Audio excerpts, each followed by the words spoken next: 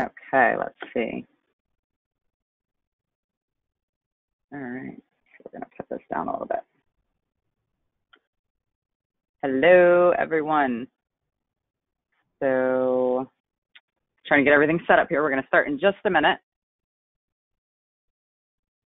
Now, hi guys. So I'm Heidi. I'm with Opticom. Um, we are going to kind of go through uh, some of the stuff for Sawmill application and the different products that we have uh, for Sawmills, some of the older stuff, some of the newer stuff, and some of the newer, newer stuff that you may or may not have seen or heard of yet. So uh, as we go through this, uh, they have a little thing on your um, form here where you can actually um, like uh, raise your hand, I think, and ask a question. Um, I'm not great at looking at it, but I will try to do my best to look at it every now and then. Um, I do have AirPods in my ears. It's just easier to do the calls this way. It's a little more hands free for me without all the echo. Uh, so here we go. So we're going to roll into this. So our first thing we're going to look at, and I'm going to share my screen again here. So the first thing we'll look at is the kind of the application data sheet, right? So Opticom, we've been around since 1973. We've been doing industrial video for, uh, I think, going on 20 years now. Um, I've been with the company for 10 years. Um, most of you know me if you're on here, probably. Um, or if you're not, welcome. I'm Heidi again. Uh, so we do a lot of business with the sawmill industry. We do heavy vibration cameras and video equipment. Um, so that goes from start to finish from uh, the, the, camera end of it, as well as uh, the monitor, uh, the, the DVR, or the recording device, or the, the splitter, whatever you want to call it. Uh, so we do kind of start to finish. So we've got the, the complete solution for you. Uh, we're going to run through this little form I have up on my screen. can you see that? I hope you can see that. And um, so we'll run through that right now. Uh, this is just a kind of a, it's more of a marketing flyer than anything, but it, it kind of gives you an idea. So uh, I will stop saying uh as well. Um, so dusty and heavy vibration areas, that's a, a big specialty for us to increase the productivity and efficiency of sawmill operations. So we can do the security portion of it if you're talking to people that want security for their mill. That's not a problem. We have that as well. We have a full commercial line, but a lot of where we focus is on the industrial part. So I'm not talking about for security inside the mill. I'm talking about for cameras to be mounted for the video process, right? So you've got a one line and you've got an operator that has his monitor right there and you can put multiple cameras down the line so he can see it all on his monitor. Most mills nowadays have cameras. There's only a few that I've come across here and there that don't even have anything yet, but most of them have cameras. And a lot of the problem we come into is they're constantly replacing cameras. So you get into a mill, uh, you're talking to somebody, or you are the the plant manager at a mill, or you're the electrical supervisor or the maintenance guy, right? And you're constantly replacing cameras, and you're not thinking anything of it because that's what the guy before you was doing, and that's just kind of the way it is, right? There's nothing out there.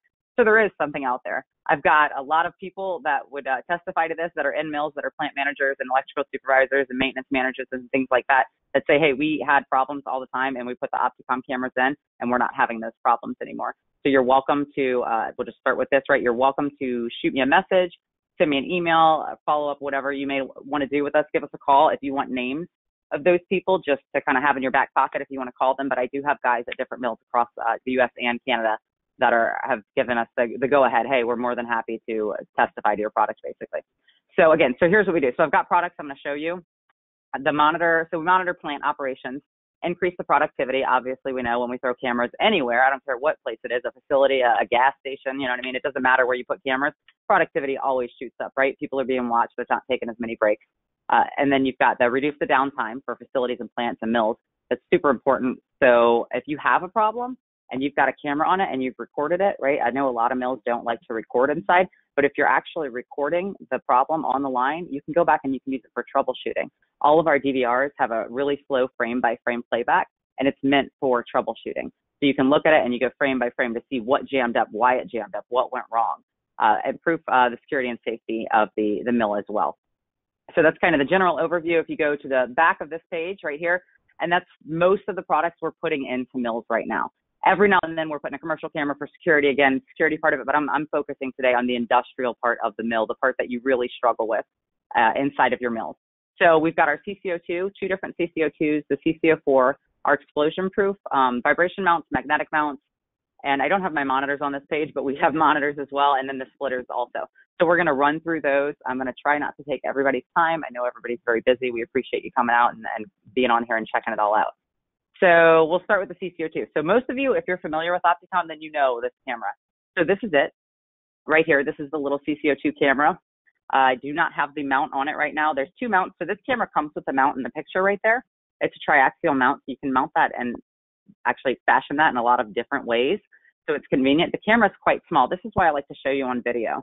So this camera can be put underneath machinery, inside of machinery. It's really, really small and really, really durable. If you check out our website uh, when you're bored later, right? Maybe because you know you don't have anything to do. Uh, if you check out toughestvideocamera.com, we have a short, it's 49 second video about this camera, and it shows the durability of it, right? So we've got trucks rolling over it while it's running live, right? So you can still see it. We've got people that slam it up against walls. I mean, this it's pretty much the indestructible camera is what we like to call it.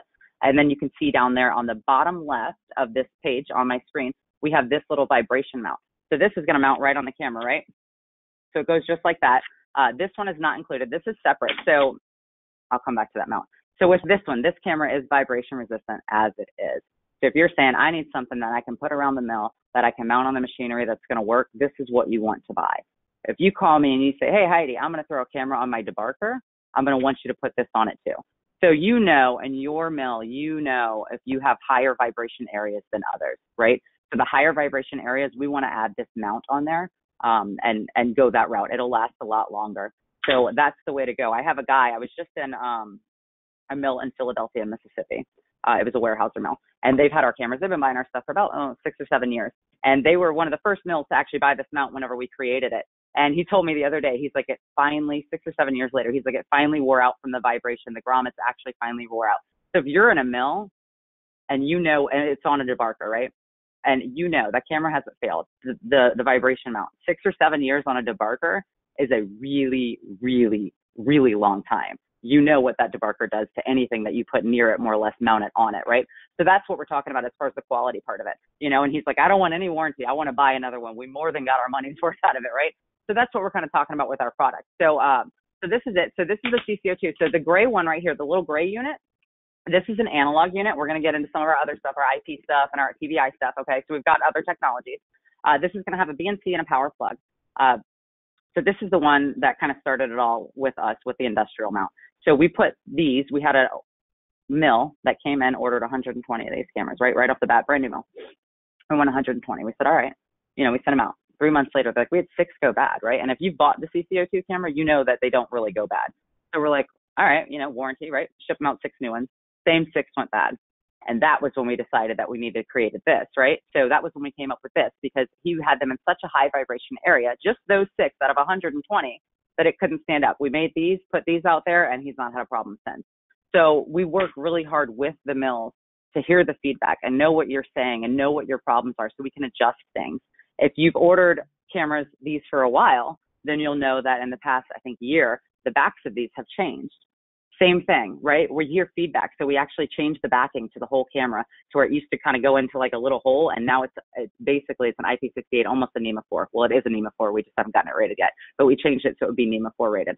Um, so you can see how this is a little different. I don't know if you can really see it. Um, so again, the feedback. We like to hear from the mills. We work on different projects. So all of our products are tested in mills. We work with the guys in the mills to make sure it's going to last. So that is our analog one, right? So a standard BNC and a power plug. So you can power it locally. Mills. I was in Mills uh, a couple of weeks ago uh, for a really, really, really, really, really long time. For two weeks, I was in and out of Mills. Um, and here's what I've learned, and I've been out of Mills for years, right? Is that these mills, what you're doing is you're powering all your cameras locally. And that's fine. You can power them locally. You're running your conduit and you're doing all this work. Just so you know, on an analog camera or a TVI, any coaxial camera, you can run Siamese cable. It runs your power and your video. Okay. So you can run that Siamese cable and that will eliminate you having to power every camera locally. So your camera, you would power it right at the DVR or right at your splitter. So it comes, it's basically one cable, but it's two sheets put together and you're going to run that. So I find a lot of y'all are running your stuff right there. And this would just eliminate a lot of extra work where you can run your, your video and your power together. So keep that in mind. If you have questions about that, let me know. Uh, we recommend the RG59. It's called RG59 Siamese, and the Siamese is your power and your video.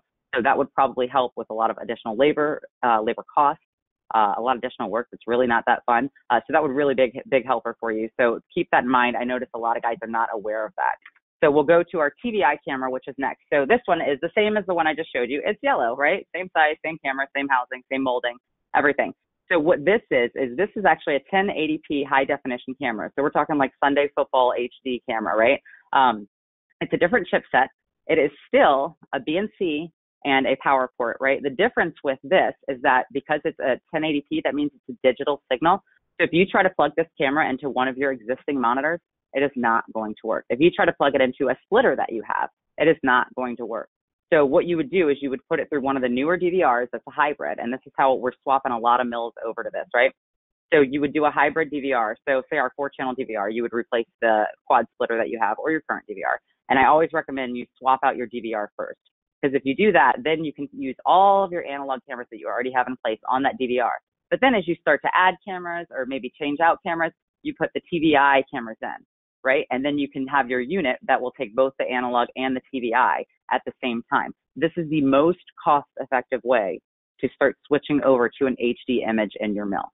I really, really recommend that you look at it, that you consider it. Um, again, start with your DVRs and go that way. Once you get your DVRs swapped out and then you start swapping out your cameras, then you look at your monitors, right? So part of the deal with the monitors is that if you've got an HD picture, but you're running it on a low res monitor, you're not going to see that HD picture on the low res monitor, right?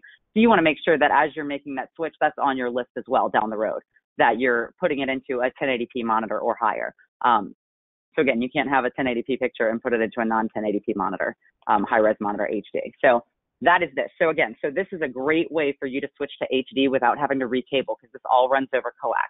So if you're like, hey, we need to upgrade our system and we need to get high def image, but I am not rerunning cable. We're not paying somebody to rerun cable. I don't want to rerun cable. This is the way to go. If you have questions about that, call me, email me, and we'll get you set up and we can lay out a plan that is the most cost effective way for you to move forward. So if you're saying, hey, we've got this budget a month, you know what I mean? We can lay that out for you and help you do that and move forward with it. Um, next, we will go, and again, that vibration mount does work with it as well, right? So same camera, it'll still fit. Next, we will go to the CCO4. So I've got the CCO4 here. So this is the same as the CC02s you saw, except this is our IP version. So this is an IP networking camera, right? So this is it right here. CCO4, you can see it has that same mount. It's obviously bigger, right? You can see it's bigger um, than this one. And this one, you're going to order this one in with the vibration mount.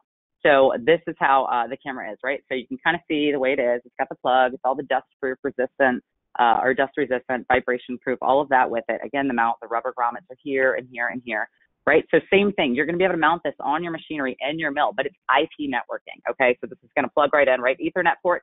You can power it locally, or it is PoE. So you can do power over Ethernet with this as well.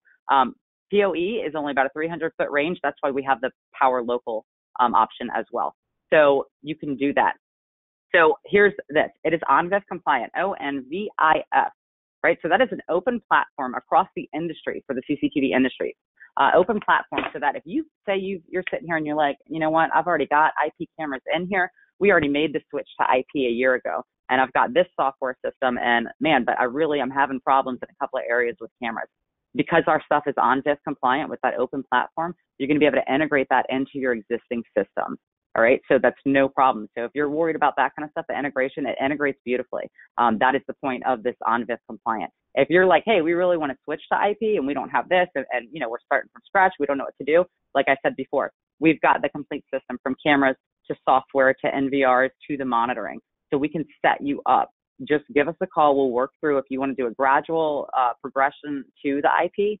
Give us a call. We'll work through the best way to do it, the most cost-effective solution to do it.